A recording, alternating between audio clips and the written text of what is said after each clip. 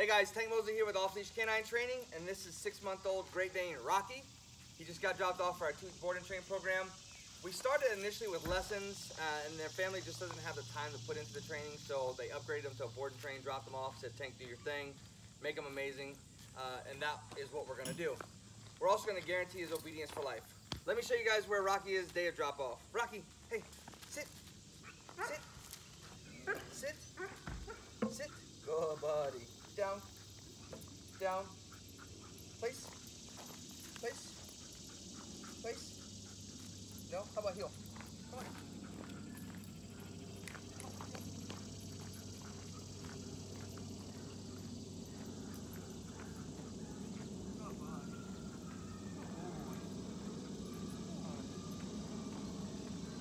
So, he's distracted with the things that are going on around on the property with the other dogs. We're gonna make him amazing in just 14 days. Super obedient around distractions, so stay tuned for his progress. Rocky.